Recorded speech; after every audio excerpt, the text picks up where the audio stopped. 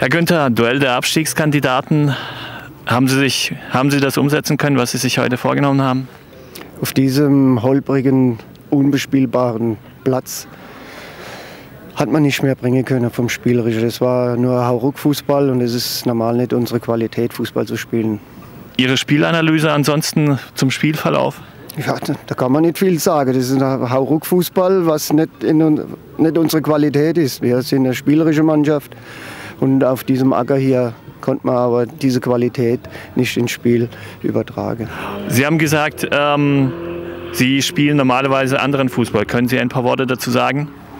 Ja klar, bei mir, bei meiner Mannschaft läuft der Ball und auf so einem Acker kann der Ball nicht laufen. Das ist unmöglich, ein Passspiel hier aufzuziehen und einen Gegner unter Druck zu setzen.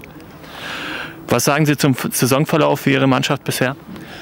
Wir spielen halt un unter unserem, unserer Möglichkeiten, aber wir, wenn man die ganze Spiele Revue passieren lässt, äh, da sieht man, dass wir äh, viele Spiele sehr unglücklich verloren hatten. Wir haben zweimal 3-1 geführt und dann immer nur 3-3 und wenn man jetzt zum Beispiel die vier Punkte dazu dann würde es alles anders aussehen.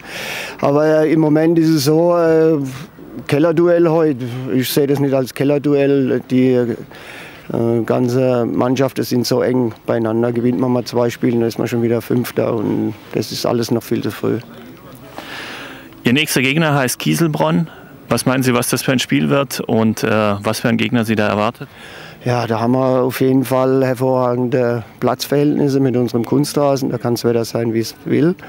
Äh, dass es natürlich äh, ein schwieriges Spiel wird, das ist uns auch klar. Aber wir sind jetzt zu Hause und wollen jetzt unsere Serie fortsetzen, egal welcher Gegner da kommt.